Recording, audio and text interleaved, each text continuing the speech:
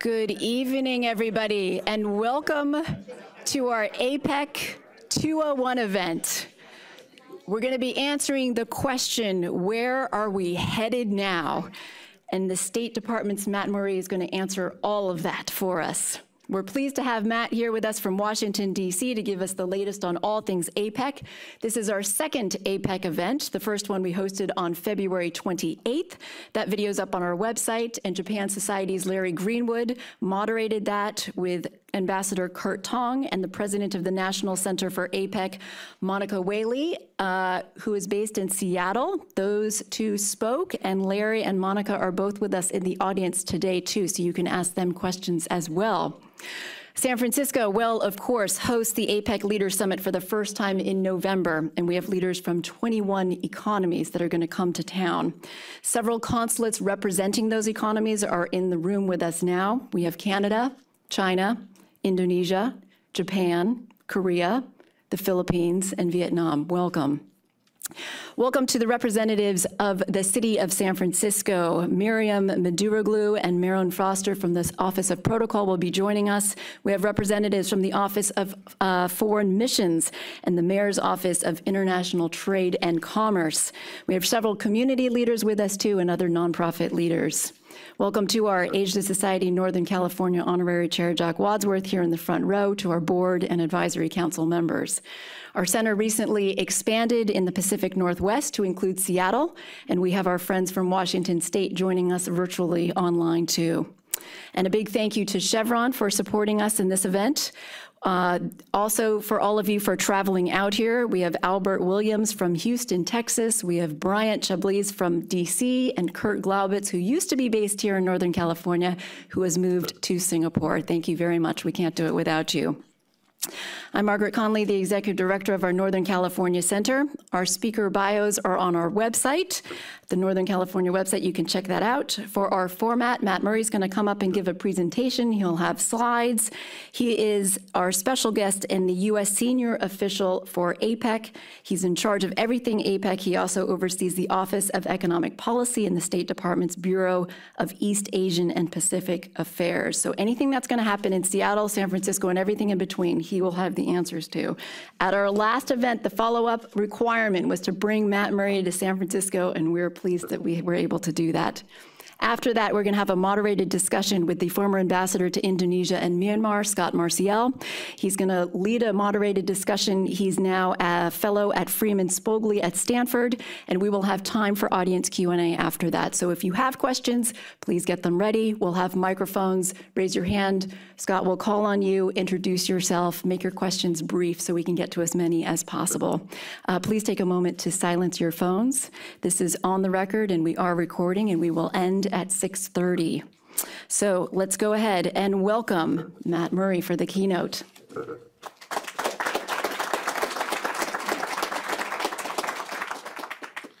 Well, thanks, Margaret, very much for the introduction. Thanks, everybody, for being here.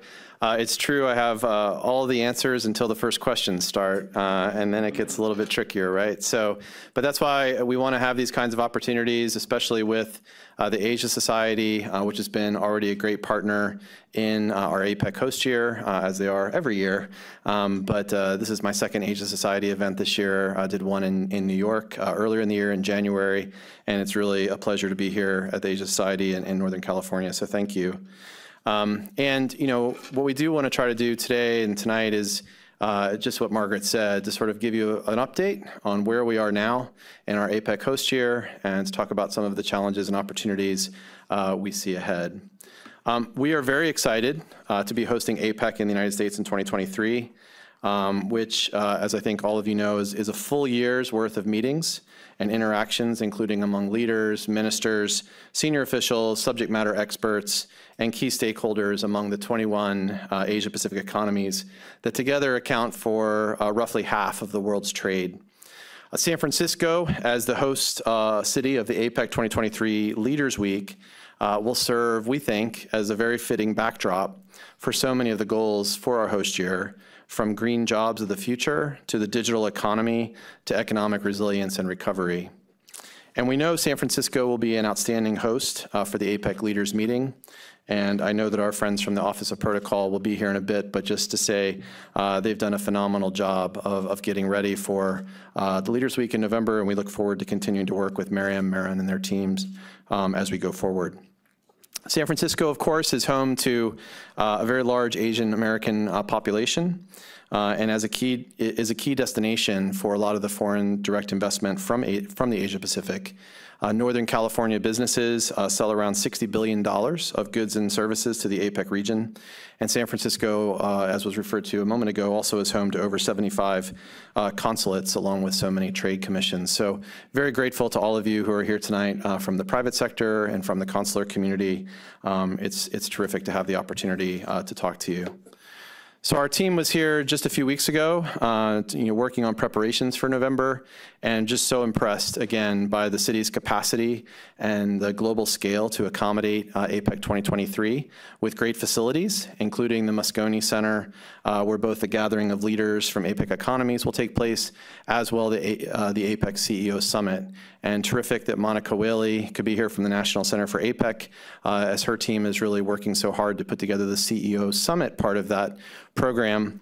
And, uh, you know, we really see, Monica's tired of hearing me say this, or maybe she's not, um, you know, public-private collaboration in APEC is really uh, the secret sauce, in my view, of what makes APEC work, uh, because it is a place where uh, government and private sector can work side by side uh, on uh, all of the things that our economies care about, creating jobs and advancing economic prosperity around the region. So really a, a privilege to be able to partner with Monica and her team on that.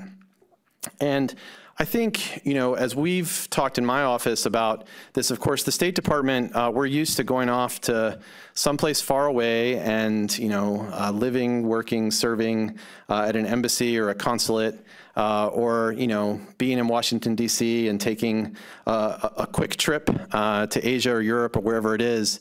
but one of the real privileges, I think, of being U.S. senior official for APEC during an APEC host year is we get to see our own country, right? And so that opportunity um, to hear firsthand from uh, people here about the challenges and opportunities that you see and the ways that we can advance that in a very, uh, you know, in a, in a, real way uh, through APEC and these types of organizations um, and addressing the challenges that you face, I think is a really uh, tremendous privilege and opportunity. Um, I've often reflected over the last few months that uh, I wish I had had more of those chances earlier in my career because I think I would have been a better diplomat uh, if I had had more opportunities to engage local communities. So as I told um, the Honolulu Star Advertiser during an interview in December, you know, we don't want to just be the State Department and the APEC team coming into a place. Um, you know, it's not really worth anything if we're not supporting our communities, our constituents, and our people. And so that's something that we've really tried to reinforce with our team uh, as we've gone through this year. And our goal in APEC, very succinctly put by Secretary of State Blinken uh, last November, is to meet the moment that we're in. Uh, to ensure our efforts in this multilateral economic organization of 21 economies deliver strong outcomes at this very unique time in our history for communities around our country, like San Francisco and the entire Bay Area. So I'm going to get into a little bit of a review for those of you who know, very familiar with APEC, or perhaps some information that's new for those of you who might be less familiar, um, so that we can try to uh, follow uh, Margaret's charge to sort of go from the 101 to the 201 or something on, on APEC. So just to recap uh, for some of you, APEC was launched in 1989 as a consensus-based, non-binding economic organization with members on both sides of the Pacific Rim uh, to promote economic and trade cooperation, not only between governments, but with input from a broad array of stakeholders, including the private sector. In 1993, during the first U.S. host year, APEC was elevated to a leaders level forum, and then President Clinton hosted the first APEC leaders meeting in Blake Island, Washington, near Seattle. APEC has been a forum where economies have gathered to address many of the key policy, economic policy challenges over the past three decades, including the economic aftermath of the Asian financial crisis of the late 90s, uh, September 11th, the global financial, financial crisis, and most recently, of course, the COVID-19 pandemic. I first learned about APEC as an intern in Jakarta, Indonesia in 1995, one year after Indonesia had hosted APEC and launched the Bogor Goals to promote open trade and investment in the Asia-Pacific region. I later had the opportunity to work on APEC during my State Department career in 2011 and 2012, including when the United States hosted in 2011, and at that time launched important work on women's economic empowerment, green growth, regulatory convergence, and economic integration. From these opportunities, I learned that APEC could be an excellent platform both to address economic challenges on a multilateral basis as well as a great convener to bring leaders and ministers together to meet bilaterally and solve problems as well. And sometimes it's that second part that ends up becoming the most noteworthy coming out of any summit. So today, the 21 APEC economies account for half of global trade and approximately 60% of the world's GDP. And for the United States, the APEC region accounts for 60% of total exports and seven of our top 10 export destinations. APEC economies also in total have invested uh, $1.7 trillion in the United States as the current stock of FDI. And as you saw from the organization's membership on the previous slide, some of our closest partners and friends like Canada, Australia, New Zealand, and Japan are APEC members, as are emerging Asian economies like Singapore, Vietnam, Indonesia, Korea, and Malaysia, as are Latin American partners like Chile and Peru, as are countries where we have more challenging relationships like China and Russia. APEC also is one of the few multilateral organizations where Taiwan participates as a full member under the name of Chinese Taipei. The APEC calendar, which I'll discuss in greater detail in a few moments, provides opportunities for, to engage with all of these economies at multiple levels over the course of nearly 300 meetings each year, including workshops with subject matter experts, senior officials meetings, as many as 10 ministerial meetings, and the leaders meeting in November, as well as key opportunities, as I've said, through the year for private, uh, public-private collaboration. Our office, the Office of the U.S. Senior Official for APEC at the State Department, coordinates this work across the interagency as more than a dozen U.S. departments and agencies are engaged in delivering outcomes throughout each year-long process, including engaging relevant stakeholders. And while our office has remained very busy in the recent past, uh, you would be forgiven, however, if APEC's work had been out of sight, out of mind uh, for the past few years. APEC struggled to deliver outcomes in 2018 and 2019 because of geopolitical challenges during Papua New Guinea's host year in 2018 that prevented consensus from being reached on the Leaders' Declaration, and domestic political challenges in Chile in 2019 that prevented the leaders' meeting from being held. As it did for so many other things, COVID-19 took APEC online in 2020 and 2021 during Malaysia's and New Zealand's host years, and it was only last year that APEC was able to return to in-person meetings in Thailand. But of course, 2022 started with Russia's invasion of Ukraine, which prevented significant challenges for APEC given Russia's membership in the organization. But despite these challenges, uh, APEC has delivered some important outcomes in the past three years, which are up on the slide. In 2020, Malaysia led APEC economies to launch the Putrajaya Vision 2040 for an open, dynamic, resilient, and peaceful Asia-Pacific community by 2040 for the prosperity of all of our people and future generations.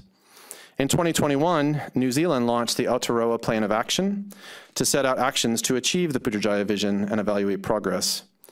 And importantly, these efforts in 2020 and 2021 also made very clear the three drivers of economic growth on which APEC should focus, trade and investment, innovation and digitalization, and strong, balanced, secure, sustainable, and inclusive growth.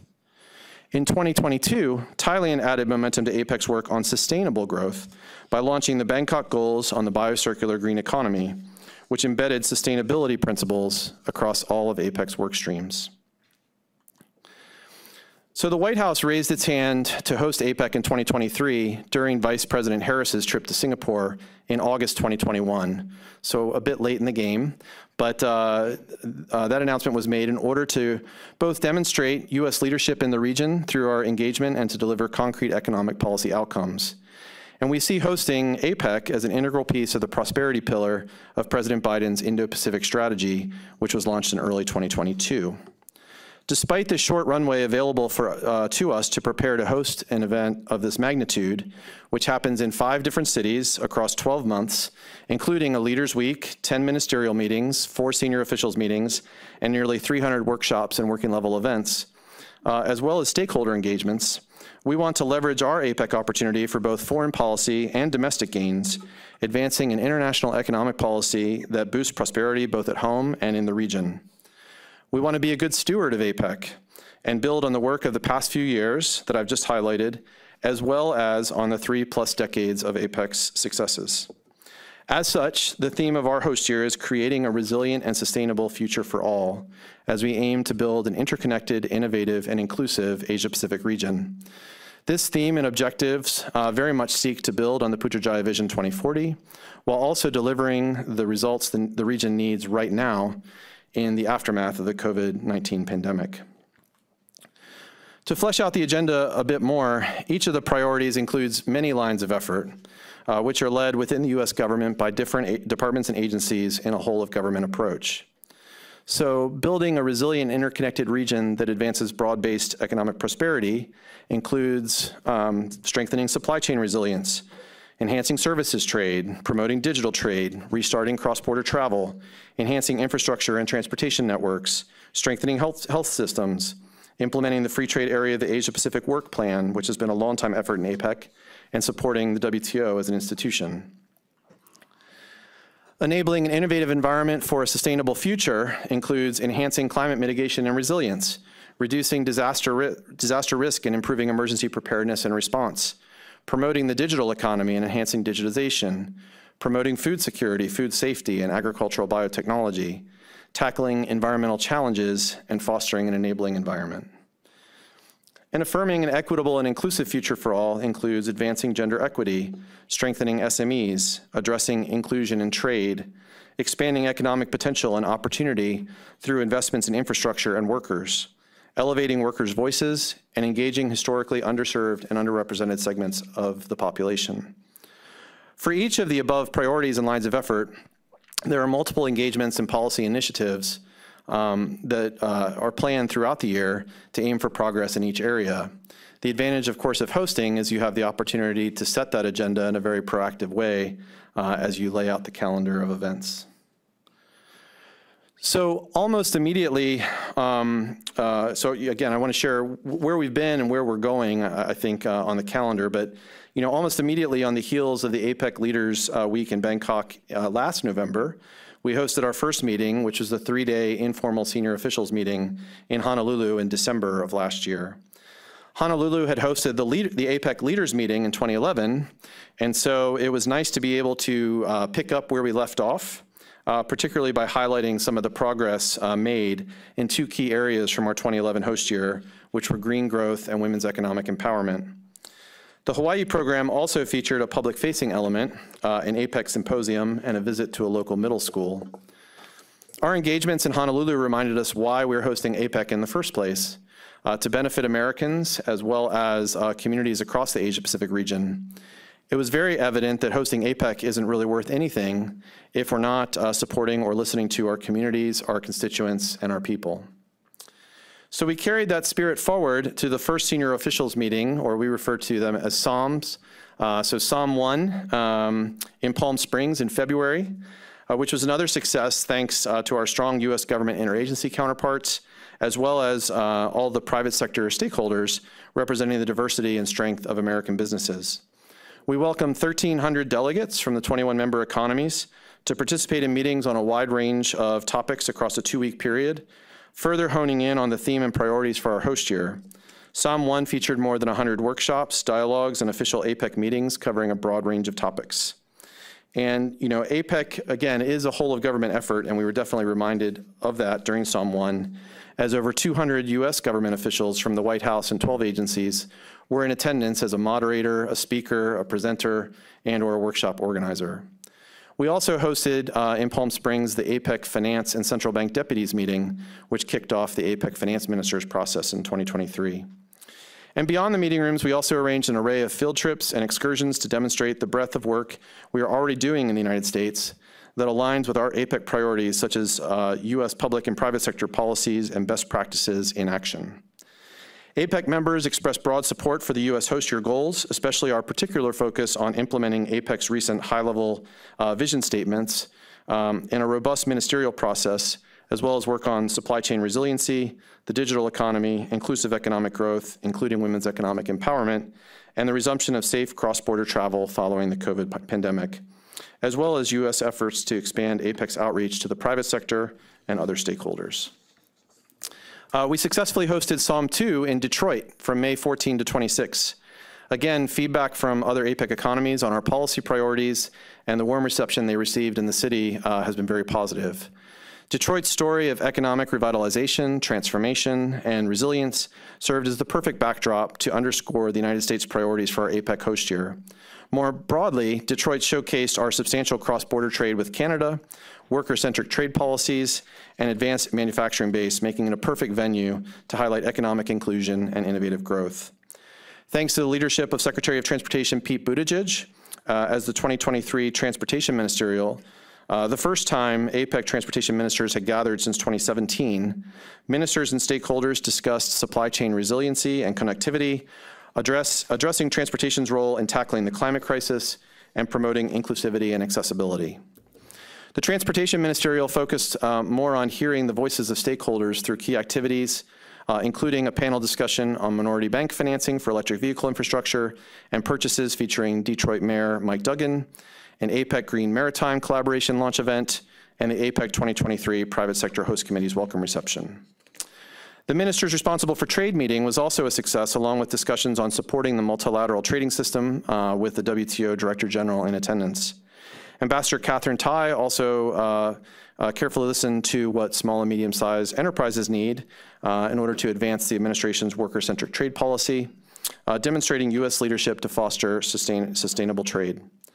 Um, there were also several working groups on human resources development, food safety, energy, and transportation, uh, where uh, U.S. government, agencies, and senior officials closely collaborated with civil society and advocacy groups uh, to achieve progress in those areas. Um, and of course, we also, again, in Detroit, partnered with the APEC Private Sector Host Committee, uh, the U.S. APEC Business Coalition, the City of Detroit, and local government and elected officials in order to engage a wide range of stakeholders on the margins of those meetings. Um, and throughout SOM 2, we attempted to lift the efforts of APEC's working groups to be responsive to stakeholders and drive forward on practical solutions. And in the senior officials meetings, we also introduced a working paper on what we call the Digital Pacific Agenda, uh, which we want to uh, really try to move forward on over the next several months as we head towards San Francisco. Uh, SOM 3, our next set of meetings will be in Seattle, Washington uh, from July 29th to August 21st. And um, I won't go into too much detail here on, on Seattle, um, but you know, Seattle is going to be the venue for uh, six different ministerial meetings uh, on disaster management, on health, on food security, on energy, small and medium-sized enterprises, and the Women and Economy Forum.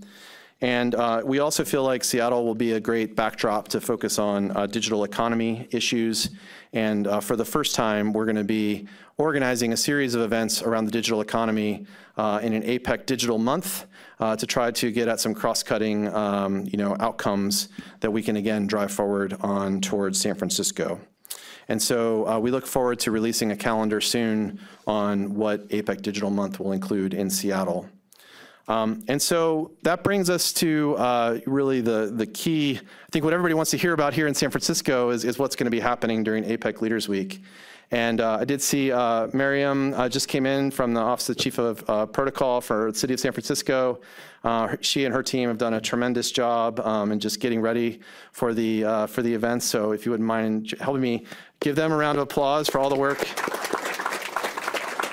that they are doing and, and, and will be doing, I, I know, over the next few months. But, um, but look, I think even you know, most observers, including even the most enthusiastic APEC watchers, uh, will not really focus their attention on APEC um, in the organization until the APEC Economic Leaders Week uh, right here in San Francisco during the week of November 12th. And during that week, senior officials, foreign and trade ministers, finance ministers, and leaders from uh, the APEC economies uh, will be hosted by President Biden uh, for the final meetings of the APEC year. And in addition to government officials, there also will be a high-level business representation at the APEC CEO Summit that I mentioned earlier, and the inaugural uh, Sustainable Future Forum, which is something that we're introducing this year in APEC uh, to encourage uh, public-private collaboration on sustainability issues um, as well as the final meetings uh, of this year's APEC Business Advisory Council, um, which also will make uh, recommendations to leaders. And this year is chaired by East West Bank CEO uh, Dominic Ng. You know, our goal for November will be to deliver an ambitious set of economic policy outcomes based on engagements throughout the year, as I said, to meet the moment that we're in. Those tangible outcomes remain a work in progress uh, and will be the result of some energetic diplomacy in the coming months. But I think it's really important that in addition, you know, we have all the work streams that I mentioned earlier, just to note that we'll not only need to be able to deliver on specific priorities, but also aim to deliver on cross-cutting objectives. For example, whether that's on improving sustainability inclusion or on developing the digital economy uh, or ensuring economic resilience across the APEC region. So we look forward very much to working with uh, APEC partners over the coming months uh, to try to move forward in those areas. So really, I know we want to get to the discussion uh, here in a moment. Um, but we do hope, uh, we, you know, big goal of us wanting to travel out here, especially prior to November, is to connect with as many as you as, uh, of you as possible. I've had two great days out here in the Bay Area doing a number of different events. And you know, we really do want you to sort of follow the story, especially, particularly given that uh, San Francisco will feature prominently uh, later in the year. So through uh, our LinkedIn site, um, through our website, uh, I've also, there's a couple of folks from my team who are here, Sue Koo, who is our stakeholder engagement lead, sitting back there, and Clara Perrin, our communications lead. Um, definitely hope you'll get a chance to talk to them. And, but I look forward to the discussion, look forward to the Q&A. Um, please do ask uh, all the hard questions. Uh, happy to, to give it a shot. Um, but also beyond this room, I mean, I hope that all of you as opinion leaders will consider, you know, your own views on, on what APEC should look like in San Francisco in November, and that you'll uh, contribute, whether that's through op-eds or uh, other, other means to be able to um, really feed into uh, that feedback loop as well. Um, I've been very fortunate to be a State Department Foreign Service officer for 25 years uh, with experience working in, on these issues both overseas and in Washington. And so the most exciting thing to me about um, you know, APEC is that I believe it's a forum where we can tie together, I can tie together a lot of these experiences of living and working on economic policy in the region and bring those experiences together in a, in a meaningful way. I think engaging multilaterally can be very difficult at times, uh, but I also believe it's the best way uh, to address complex problems uh, because I think when we get regional, we get real. And so, uh, you know, importantly, as I said earlier, though, uh, APEC also will be a place, provide an opportunity for bilateral engagement with key economic, uh, e um, key economies in the region uh, at the highest level. And so we look forward to San Francisco being a place where uh, all that can happen. So in, in, addition to serving as a great platform uh, for diplomatic engagement, uh, APEC will be most meaningful if we also deliver positive outcomes, both here at home and in the region, because ultimately that's the standard on which our efforts will be judged. So thanks very much for the opportunity to share a bit tonight, and I look forward to the discussion. Thanks.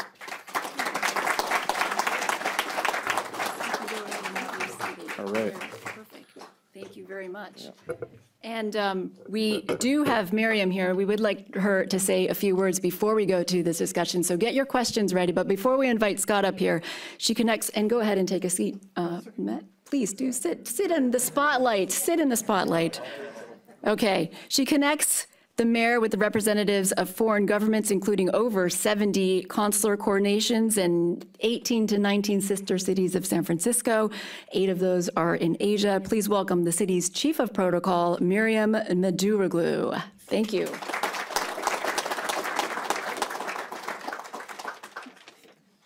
Thank you, Margaret, and uh, um, thank you, Matt. It's been nice to uh, be uh, meeting with you and, and uh, working with you and the entire team. Um, good evening, everyone. I'm Miriam Meduroglu, the Chief of Protocol for City of San Francisco, and I'm delighted to speak with you all.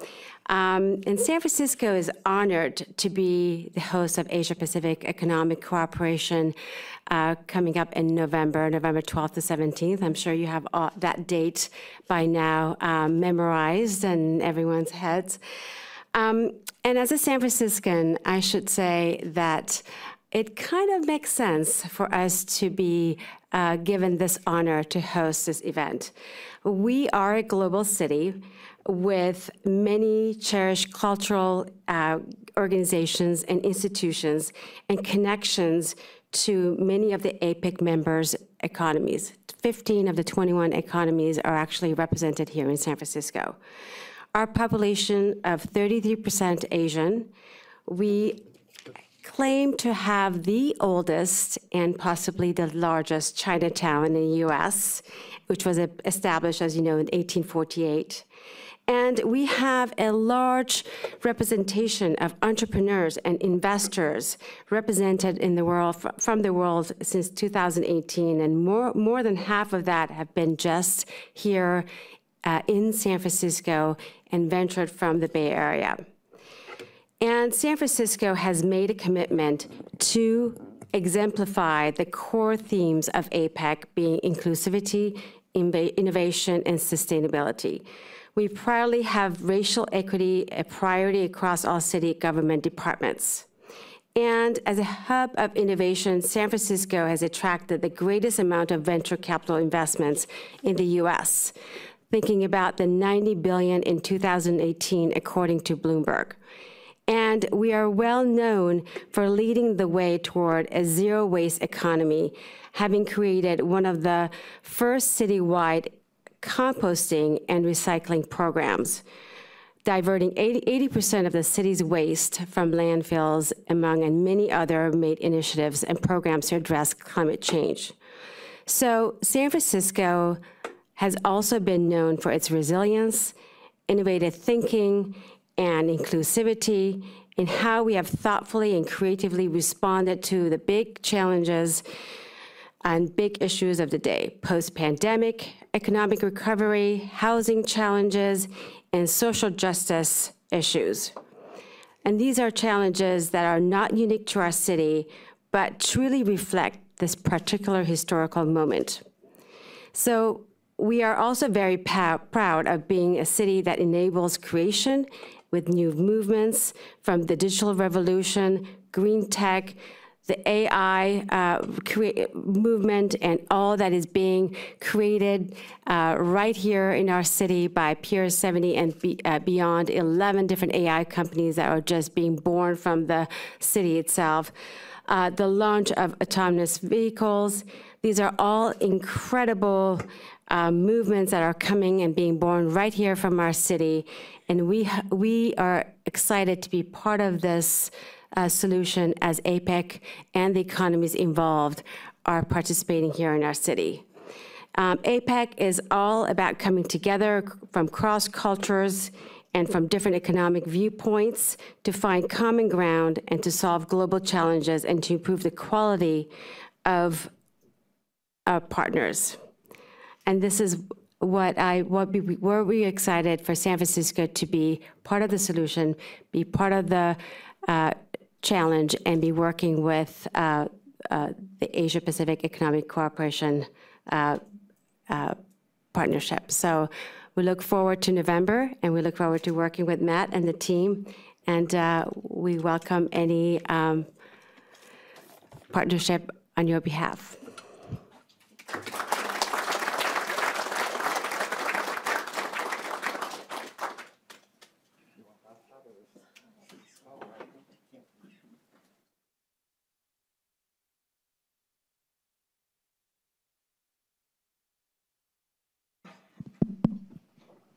Thanks for that, Matt. Um, for those who didn't get I'm Scot Marciel, uh, and uh, thanks to Margaret and Asia Society for giving me a chance to, to join and to throw a few questions uh, Matt's way before we open it up to questions for the audience.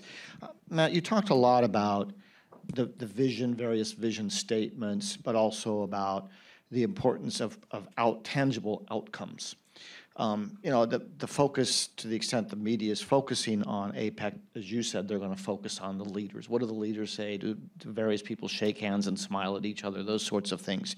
But on the practical outcome side, I wonder if you could offer just your, your thoughts on what APEC in the last, let's say, three, three to five years, some, some real practical, tangible outcomes that you think have actually affected communities Yeah, thanks very much. Um, you know, I think that that's uh, one of the pieces that we're really trying to, you know, revitalize some of that because I think the last three to five years, and we heard this from a lot of our APEC partners when we first started hosting, is they said, look, we have enough vision statements, right? We, we need to implement, we need to do some things.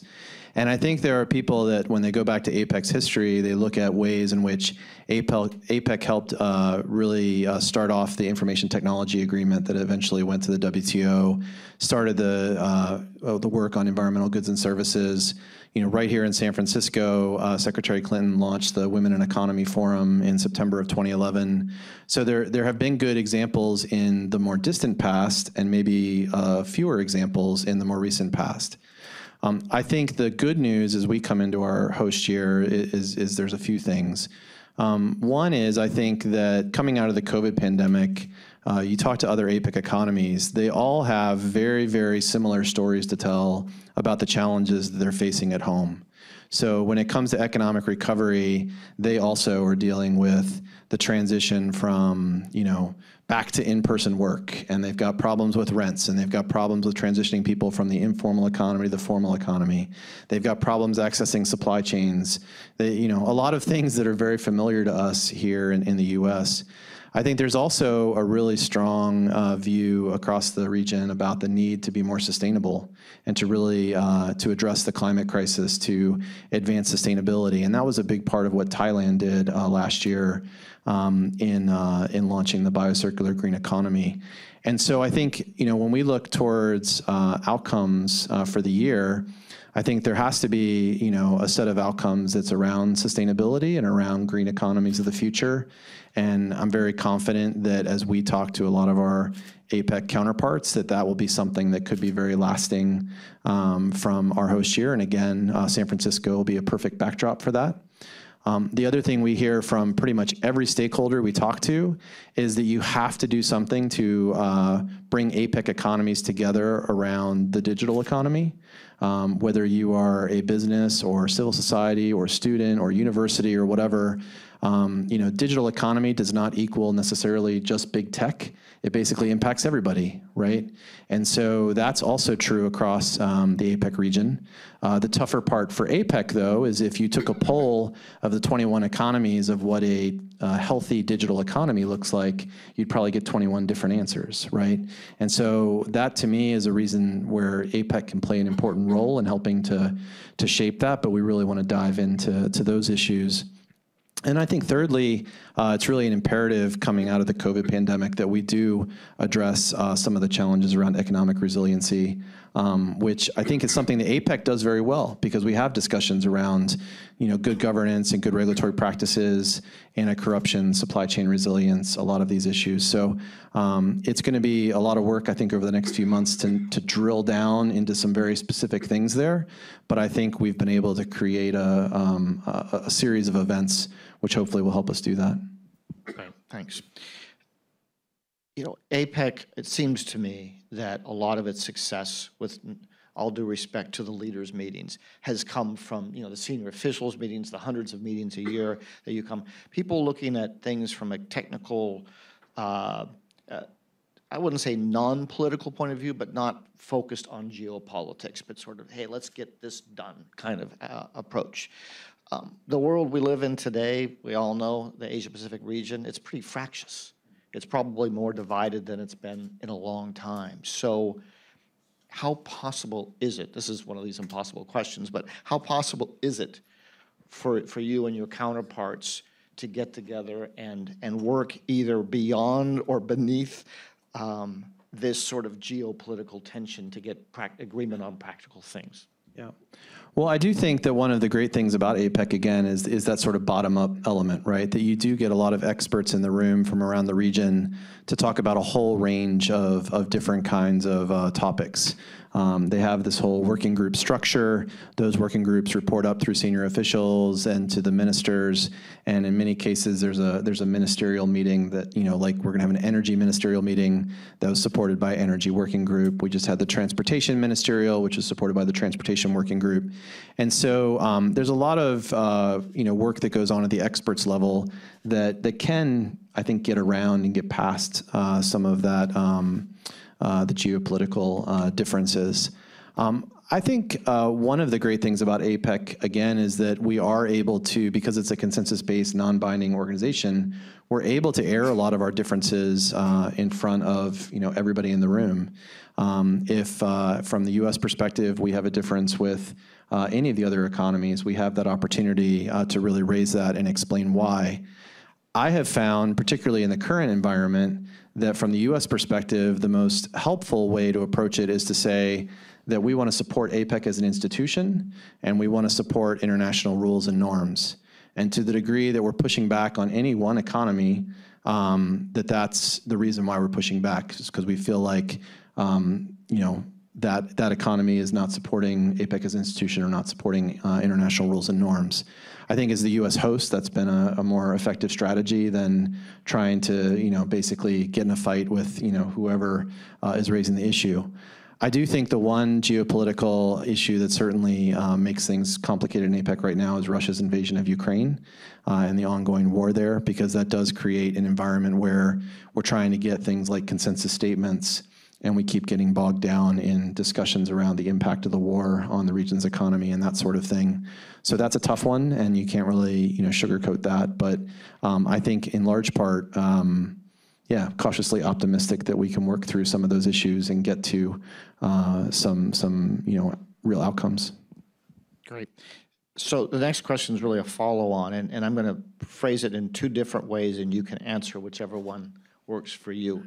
Um, for you as U.S. senior official, what, what, what the day after the leaders summit, leaders meeting ends, what outcomes would you see that would make you walk away feeling it was successful, specifically? Or the second way of putting it is, what areas of convergence do you think are most likely in terms of, of agreements that could be announced? So I think first of all, I, I want to be a little bit broader for a second uh, because I think it's uh, important starting point is that um, the first thing, and this is going to sound, uh, um, I don't know, trite, but it'll be great when it happens. Like that the meetings happen, that, that we're able to actually be a convener, uh, that we're able to demonstrate leadership in the region by bringing all of these leaders and ministers to San Francisco, uh, and to be able to have some good engagements as a result of that. Um, and I think the reason that's important is, you know, it was not so long ago when there were lots of questions about, you know, is the U.S. engaged, you know, showing leadership in the Asia Pacific? Is the U.S. Uh, engaged economically in the Asia Pacific? So to be able to have something tangible that we can point to, that we can say, hey, we brought this you know huge gathering of leaders and ministers to San Francisco. We had successful meetings. Uh, we opened up doors for diplomatic communication. Uh, I don't think that's a small thing. I think that's important to be able to say, hey, we had a great uh, a great leaders week, and that um, you know everybody successfully came, and and and, and that that was an accomplishment in, unto itself. I think a second very broad thing is is getting back on board the public-private uh, collaboration piece. I think it's hugely important because you know there's a lot of justifiable criticism out there in the world that you know governments do things um, without stakeholder engagement, uh, without you know making decisions, without that sort of input. I think the degree to which we can really partner with companies and get back to what APEC I think did very effectively in the past uh, and really um, engage the private sector all year long, but not just big companies, also small and medium-sized enterprises, and also other stakeholders. I think that's hugely important. Uh, and so to the degree we've been able to have a good program on that, I think it'll be a, have been a successful APEC. Um, but third, on the outcome side, I, I, do think when you look across, you know, sustainability, digital, economic resiliency, kind of this, um, you know, sequencing of, of, things. I mean, those are the topics that everybody's talking about out in the region. And so, if we can deliver some outcomes, some of which will be uh, agreements that we make as governments, um, you know, among the APEC economies, some of which might be together with the private sector outcomes that we can announce uh, you know, I think that that will be um, tremendously important as well. And so if we can, again, use this opportunity to show U.S. leadership, to engage stakeholders, and to deliver some specific outcomes, I think it'll have been a successful APEC. Thanks. Uh, and the, the public-private partnership part that you've emphasized is, of course, really important. And, and one of APEC's traditions is the CEO Summit. Can you explain to me, maybe everybody else here already knows, how that ties into the leaders' meeting and the agreements? Um, Or is it really a separate, separate entity? Yeah. So the CEO Summit is an official part of the APEC Leaders Week program.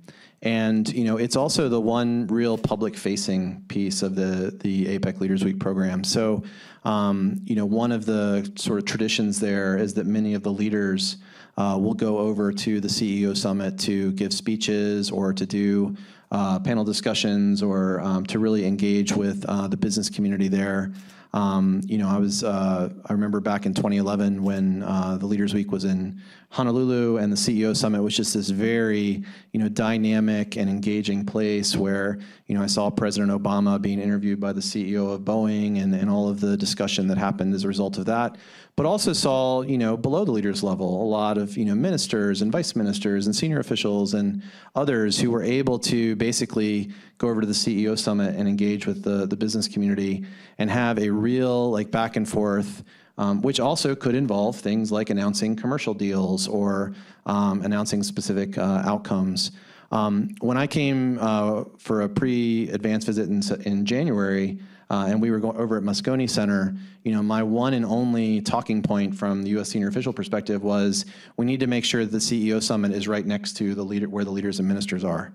You know, it can't be a 45-minute drive through traffic to get there, right?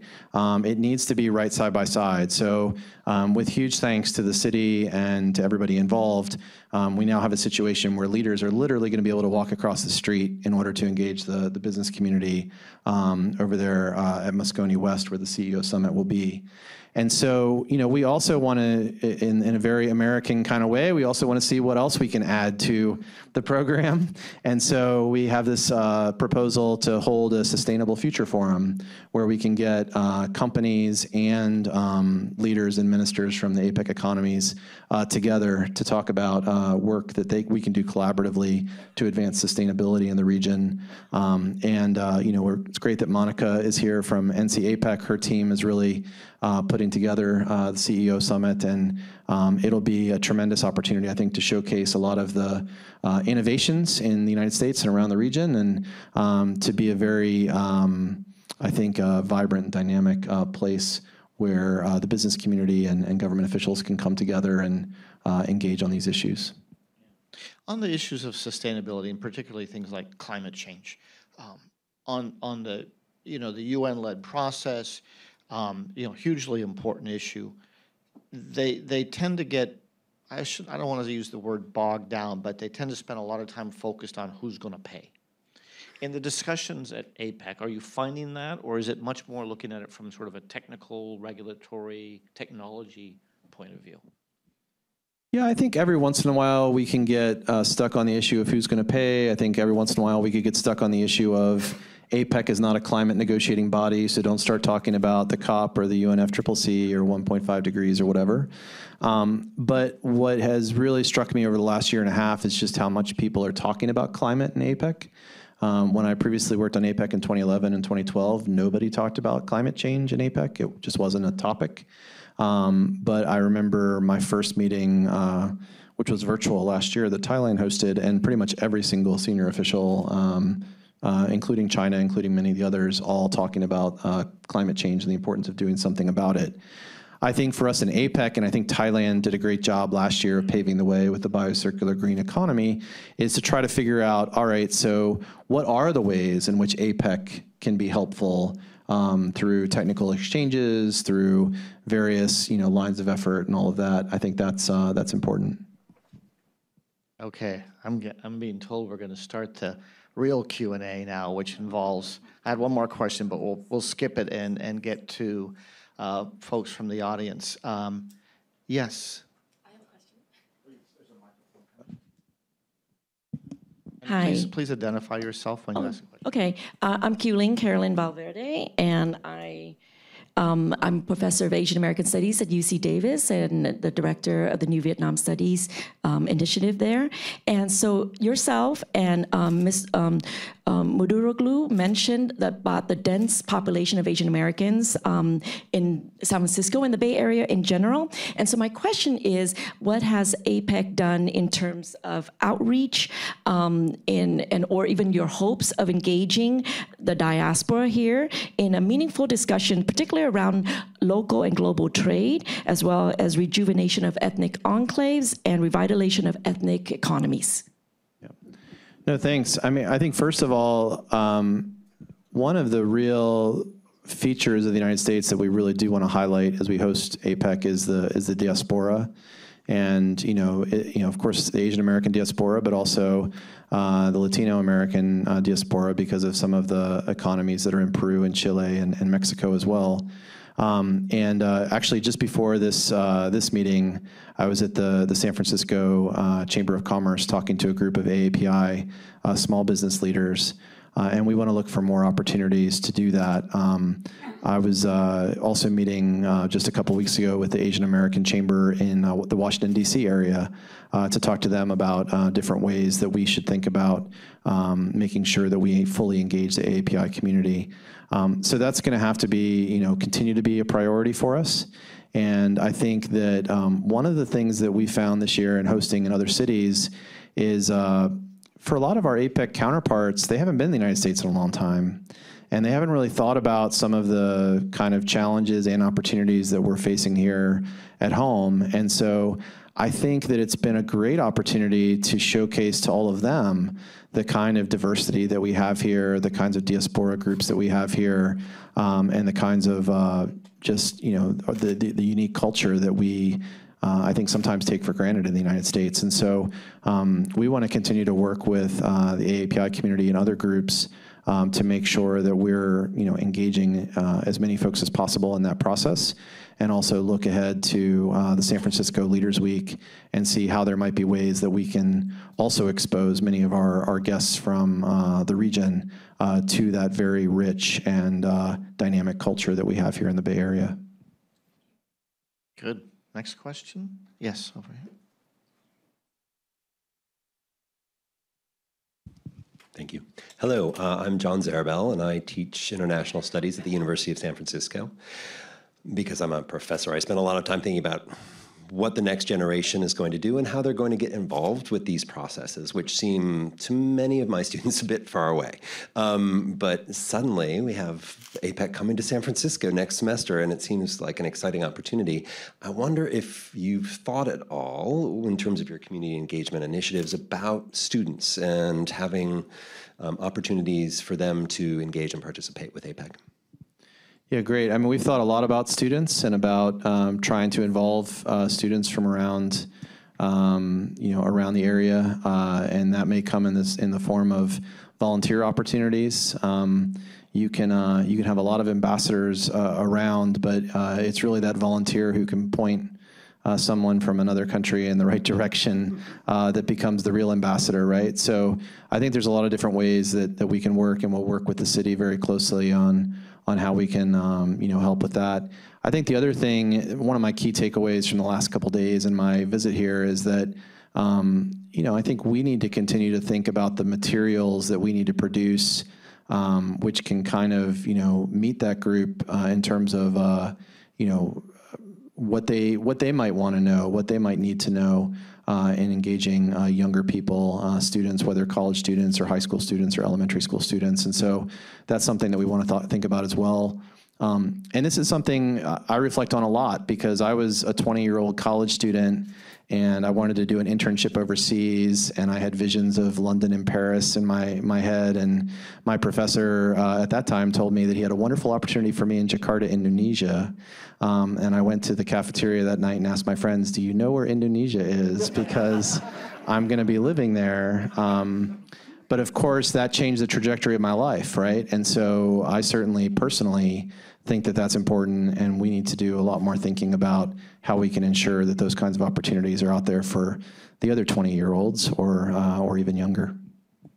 If I might just, uh, just add to that, uh, I think it's a really important point that uh, whether it's APEC, certainly for APEC, but for a lot of other initiatives, one of the things sometimes government people, and I'm a recovering one myself, um, struggle with is, you know, we're, we're so busy doing our stuff and then trying to figure out how do you present that, communicate what we're doing in a way that makes sense to people in general, but certainly to, uh, to younger people. So it's a really good, a really good point.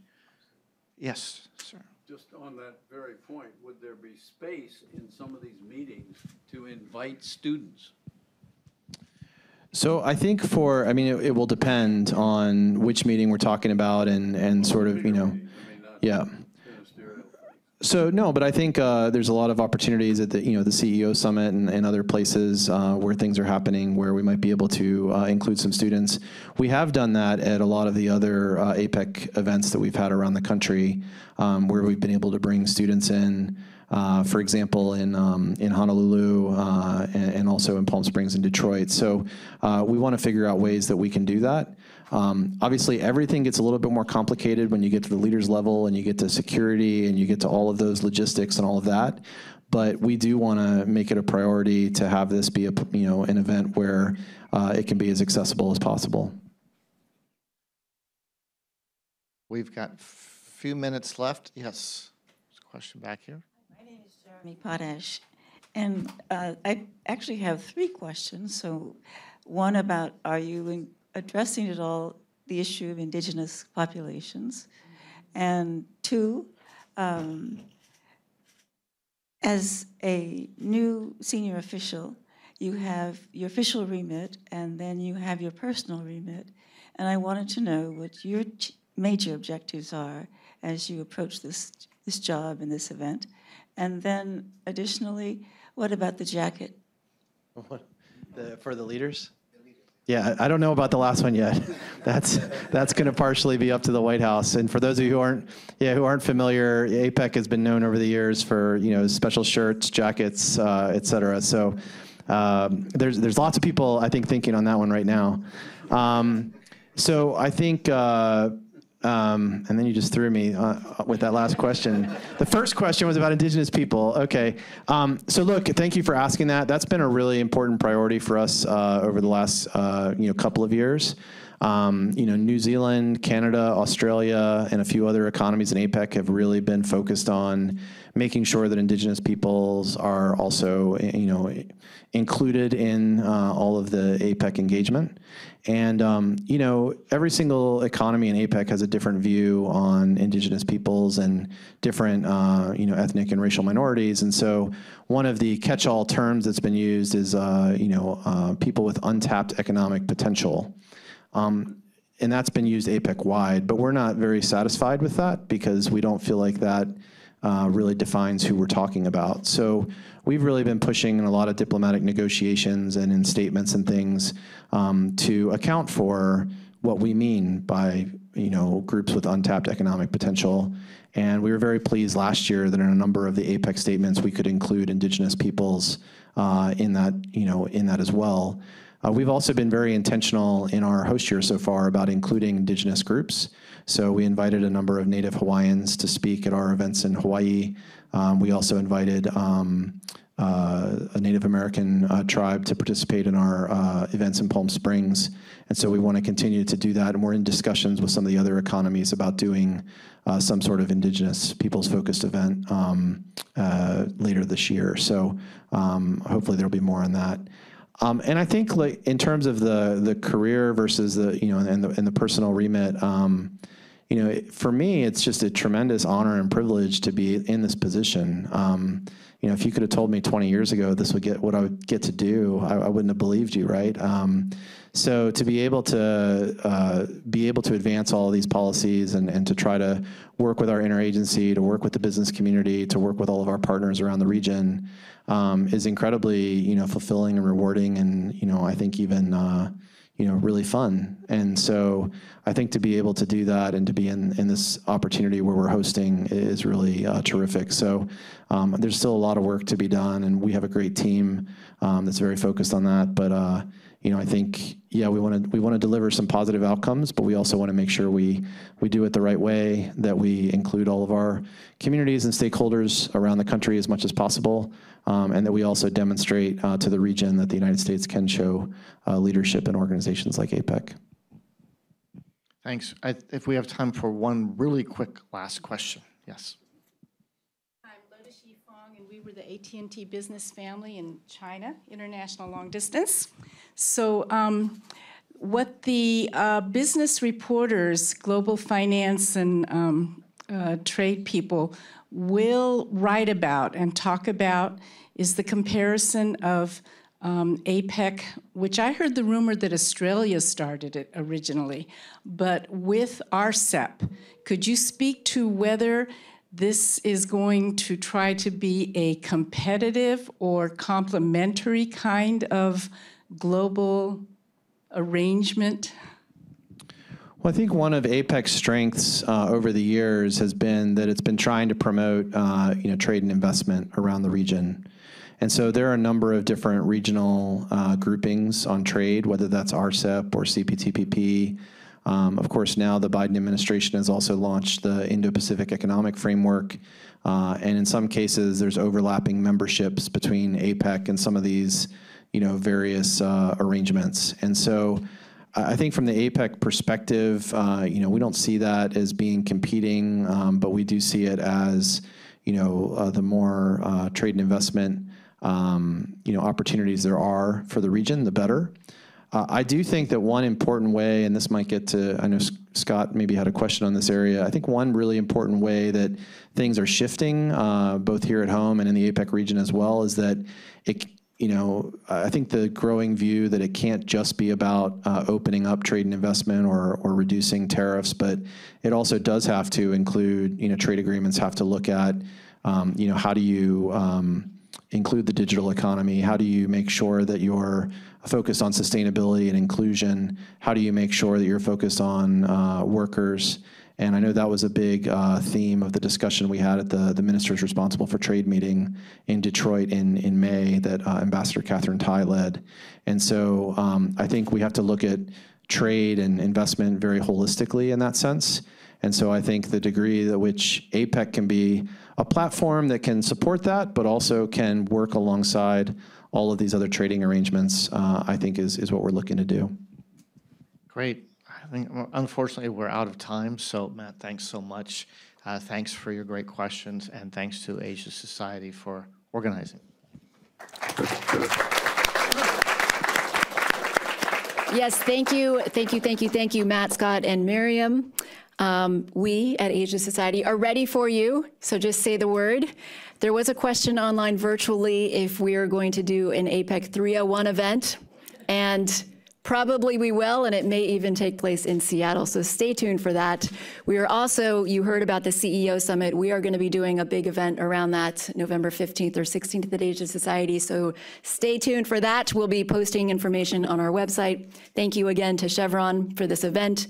And we do want your feedback. Uh, there will be a QR code up on the slide there. If you have a moment to take a brief uh, survey for us, that would be helpful. Thank you very much to our very hardworking team, Nina, Christy, Mon, Jeremy, Aaron, and all of our student interns and volunteers. We can't do it without you. Let's hear it for them, please.